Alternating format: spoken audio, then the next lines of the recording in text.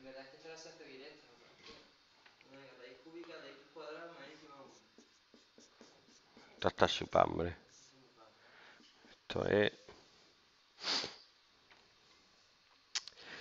x cuadrado más x más 1 elevado a menos 2 tercios, porque un tercio menos 1 es menos 2 tercios, por la derivada de lo de dentro, que es 2x más 1. Esto serían 2x más 1 partido raíz cúbica de x cuadrado más x más 1 al cuadrado. Y listo.